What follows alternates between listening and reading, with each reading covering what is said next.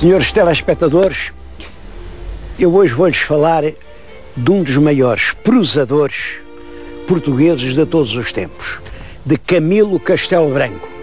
Estou aqui na casa que chamam a Casa de Camilo e estou junto de um pequeno obelisco.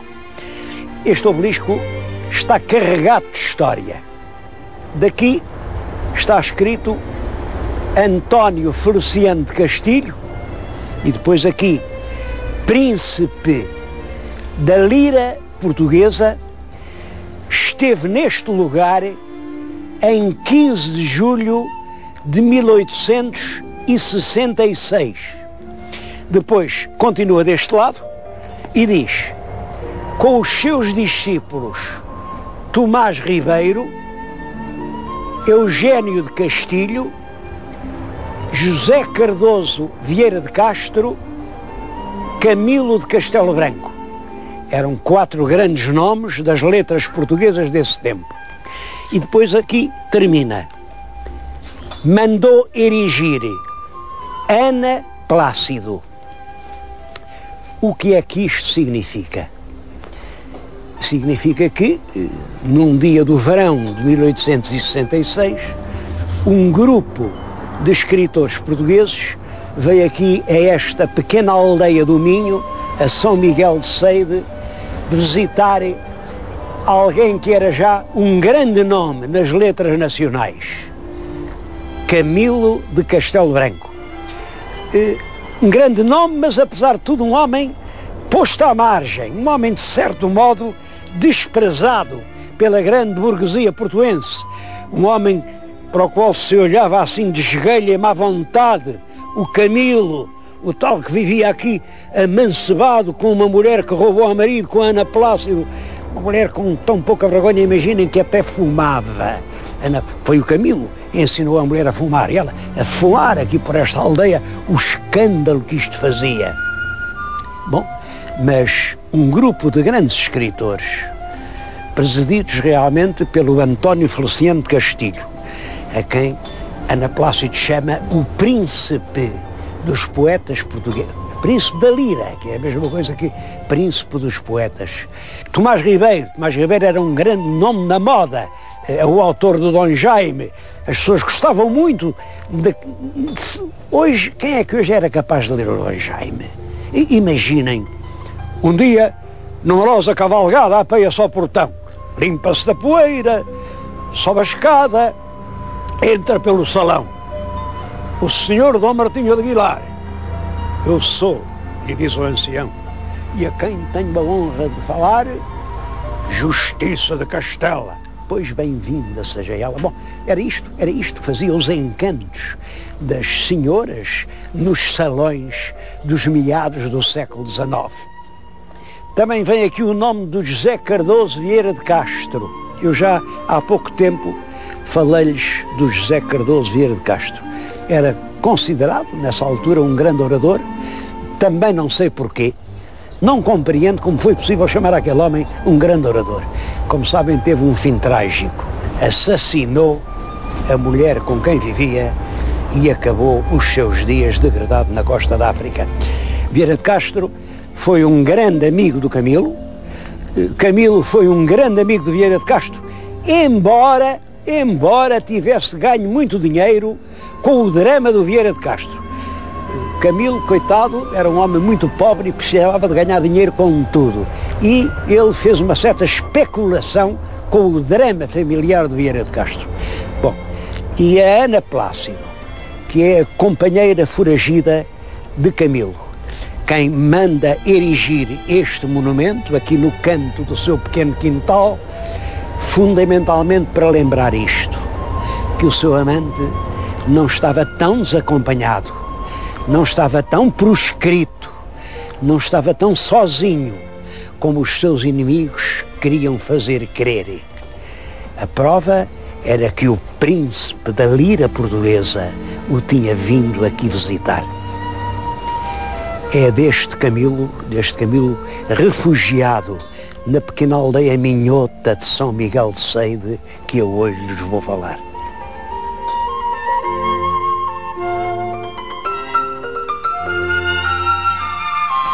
há uma boa razão para chamar esta casa a casa de Camilo.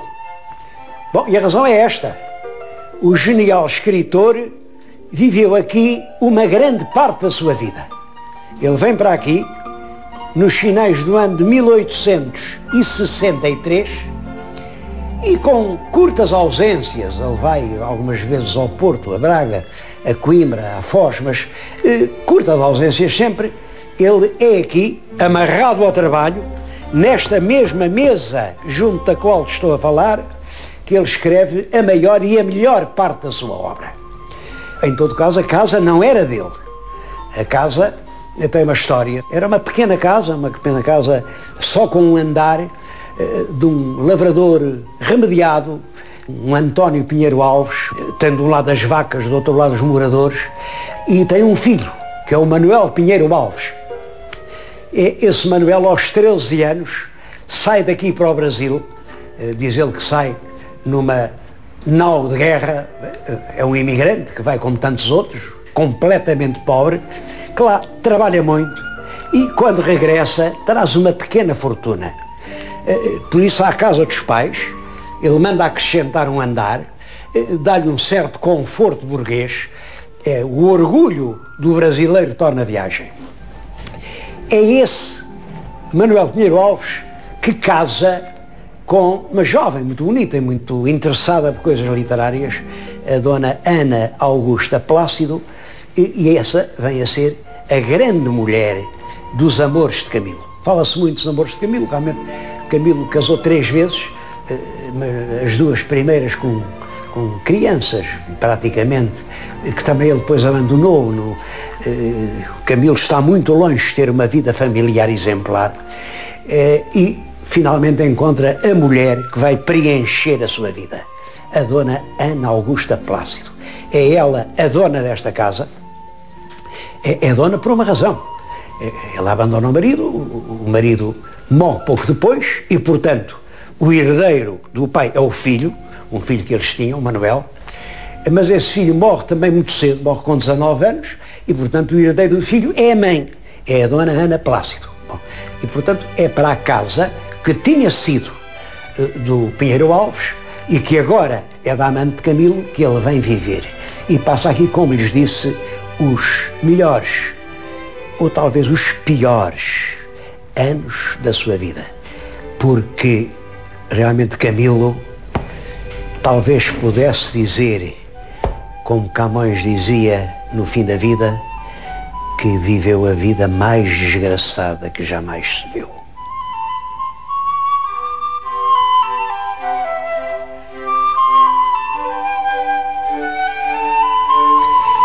Camilo nasceu em Lisboa, no bairro Alto, na Rua da Rosa, no ano de 1825.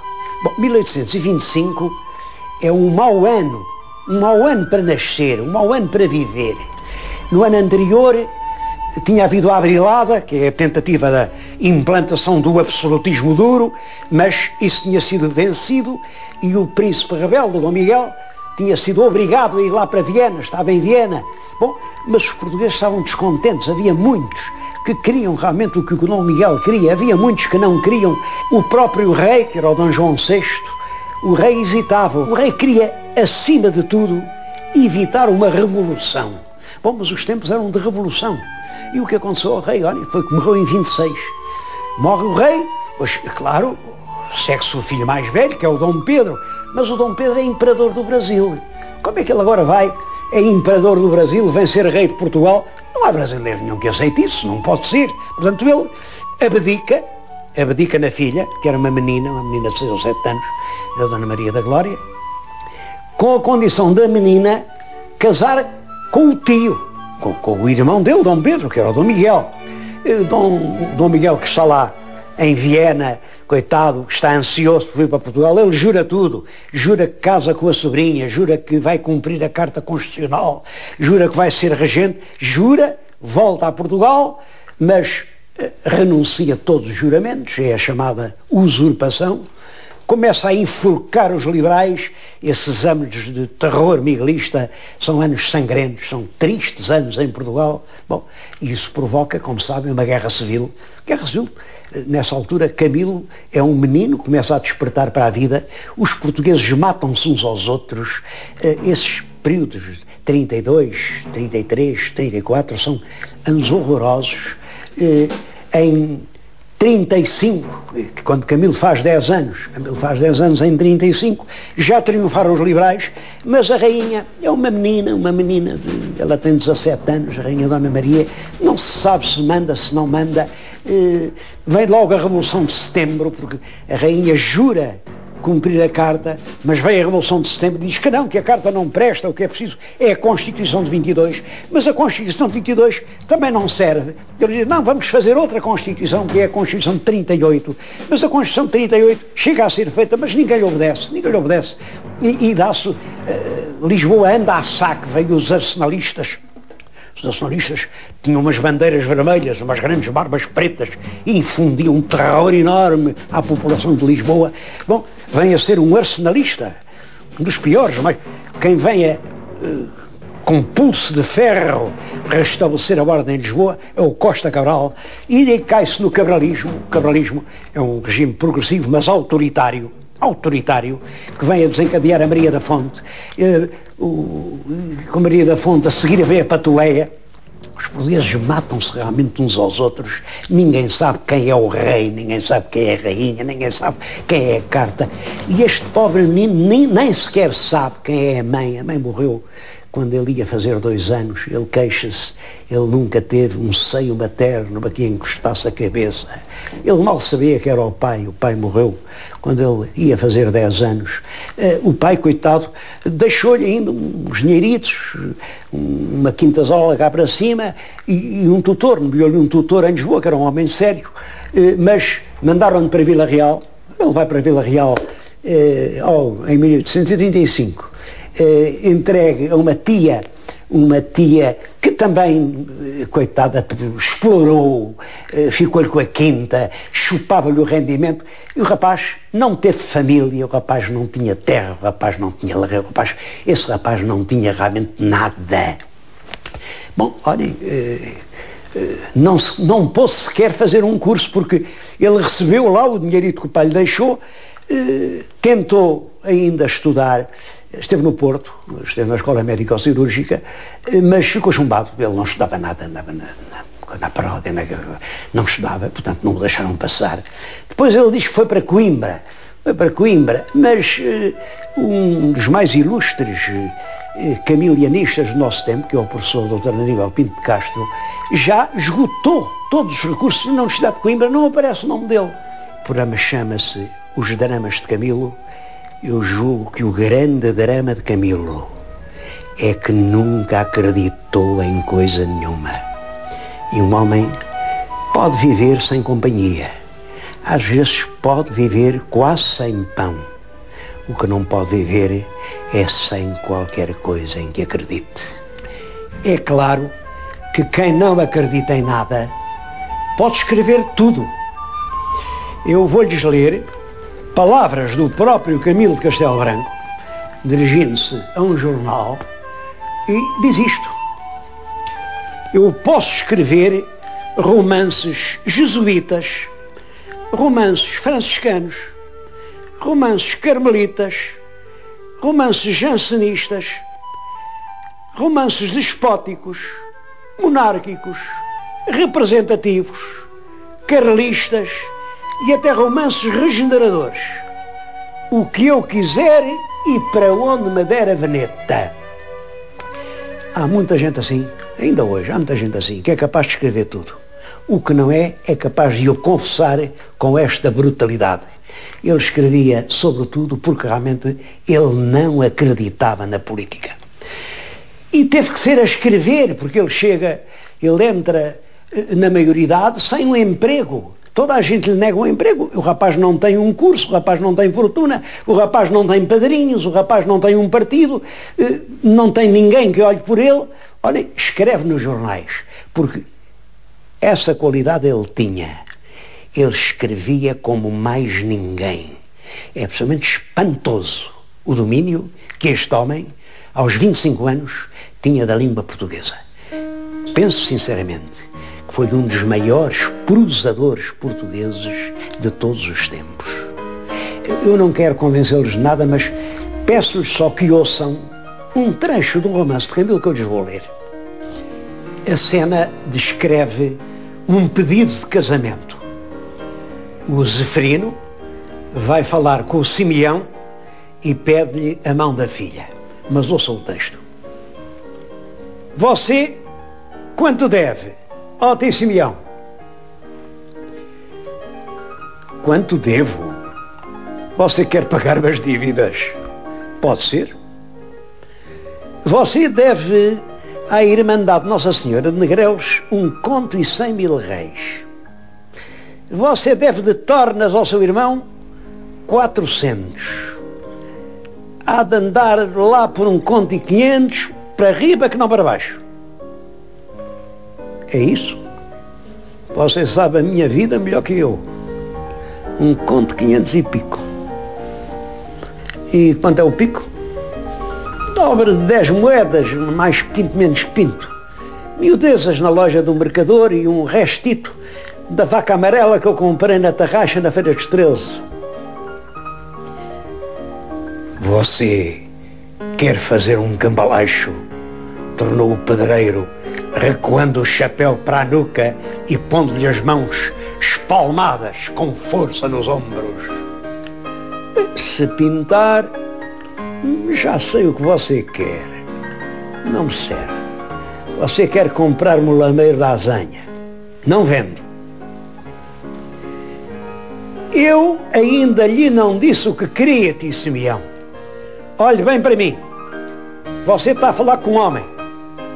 Pago-lhe as dívidas. Você não fica a dever nada e eu caso com a sua Marta. Pode dar os bens ao outro filho, que eu não lhe quero nem um X. Você fala sério, ó Sr. Zeferino? Se fala sério? Então você não sabe de quem se trata? Ora bem, entendamos. É a rapariga que você quer. A rapariga extrema, sem dote na escritura? Eu não tenho senão uma palavra. Já disse que sim. A rapariga é sua.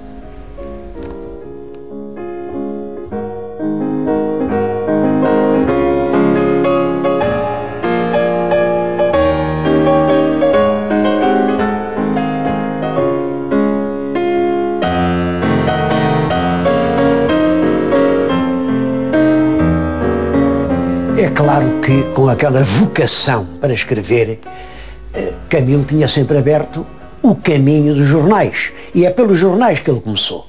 Aliás, ele começou ao mesmo tempo a escrever em jornais da situação e da oposição. Isso não o preocupava nada. Eh, nos jornais publicava folhetins, estavam muito na moda os folhetins, e depois eram com os folhetins que ele publicava em romances. Tem na mão o primeiro romance sério que Camilo publicou. A primeira edição é de 1850, portanto, tinha 25 anos. E vou-lhes ler as primeiras palavras do primeiro romance de Camilo Castelo Branco. É o título do capítulo primeiro. As palavras são estas. Capítulo primeiro, no qual se prova que o autor não tem jeito para escrever romances. Estas são as primeiras palavras. Bom, desde 50 até 90, durante 40 anos, ele não fez outra coisa senão escrever romances. Escreveu, calcula-se, mais de 60 mil páginas.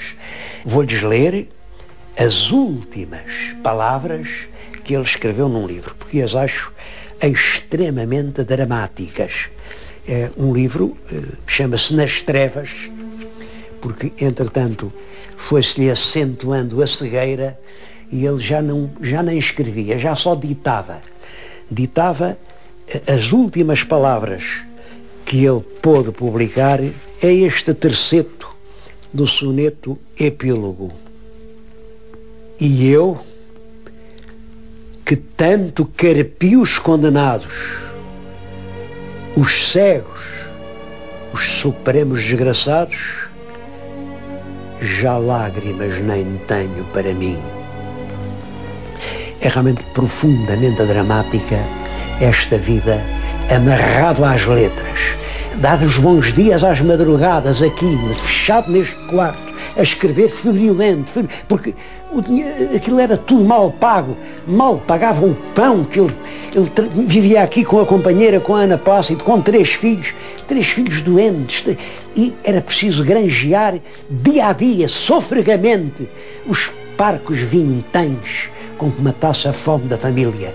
Pouco a pouco vai perdendo a vista e é quando percebe que já está inteiramente nas trevas, que já não tem um clarão, um clarão no olhar, já não pode mais ler sequer uma fase impressa, que ele atravessa a cabeça com um tiro e assim põe termo à sua triste peregrinação pelo mundo.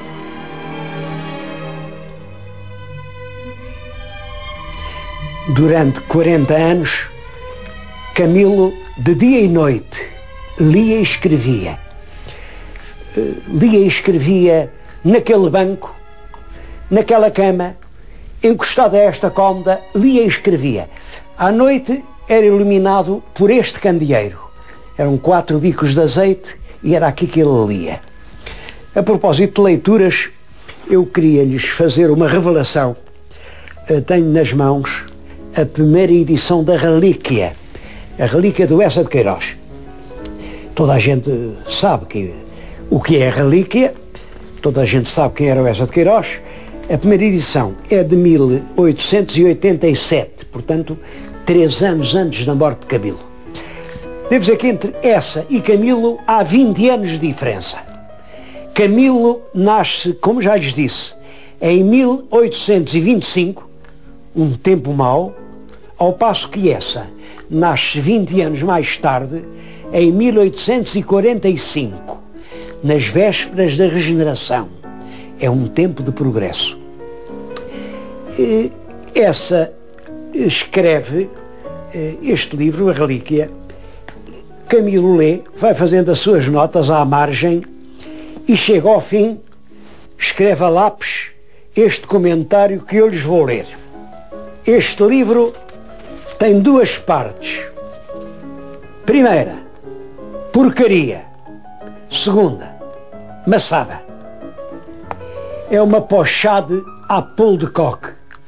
Chalaças hiperbolicamente inverosímeis, uma vontade despótica de fazer rir à custa de tudo, mas não é isso que o torna um mau livro. É a falta absoluta de bom senso e de bom gosto. É claro que neste juízo há só uma injustiça. É que é um livro também extraordinariamente bem escrito. Foram os dois maiores prosadores do século, Camilo e Essa. A escrever, Camilo, durante aqui em Sede, ele escreveu 180 volumes. Eh, algumas obras têm vários volumes, os títulos são 137 títulos. Alguns são célebres, como O Amor de Perdição. O Amor de Perdição é escrito na cadeia. Na cadeia da relação do Porto, ainda hoje lá está o quarto, onde Camilo estaria recluso. É claro, foi uma prisão amável, porque ele obteve licença para sair da cadeia, eh, andava a cavalo pelas ruas do Porto para todos os burgueses o verem, mas levava os sapatinhos da Ana Plácido, também lá estava presa, levava ao sapateiro para os consertar. Pior, enquanto esteve na relação do Porto preso, ele foi duas vezes visitado pelo rei de Portugal, por el rei Dom Pedro V, que foi à cadeia visitar aquele que já então era considerado o maior escritor português do seu tempo.